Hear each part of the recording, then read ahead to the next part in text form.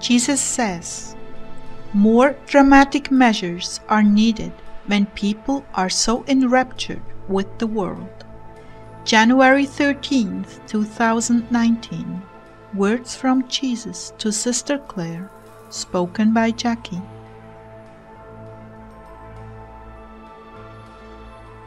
Clare began.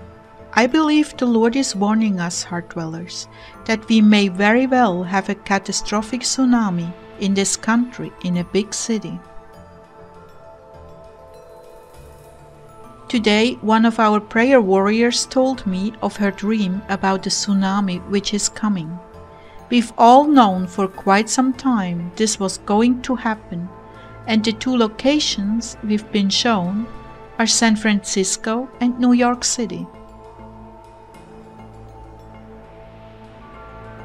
Dear ones, the Lord has always promised us that if we would pray, He would lessen the tragedies.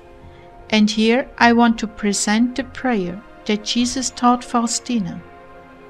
Jesus told her, If you say this prayer with a contrite heart and with faith, on behalf of some sinner, I will give that soul the grace of conversion. And this is the prayer.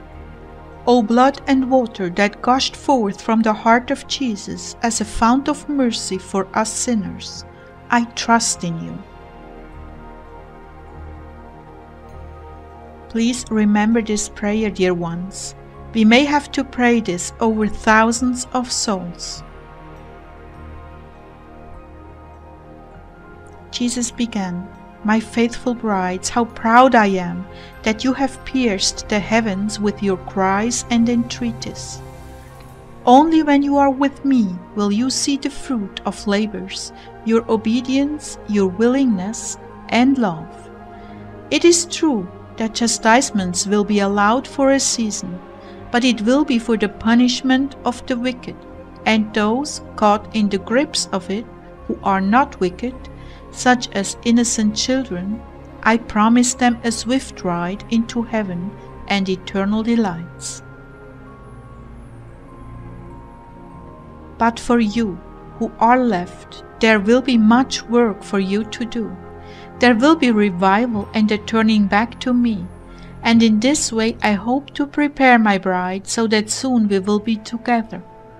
Getting the attention of my brides to be has been a serious effort with little fruit, except in countries who have experienced terrorism, displacement, and tragedy. Sometimes that is what it takes to separate the soul from the world and seriously consider that I'm real, alive, and calling to them.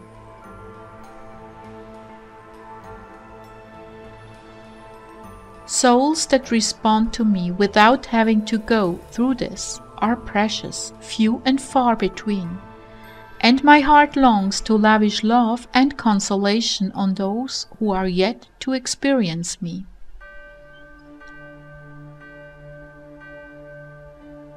But they are naked and blind in this world, and their very reality must be shaken. There is little time left, and they are lagging behind. That is why more serious measures are needed to get their attention. However, I'm never without pity or mercy, and I hate to experience their suffering and to feel what they feel. So I try with all possible measure to draw them to me by life's ups and downs. But when a people is so enraptured with the world, more dramatic and harsher methods are needed.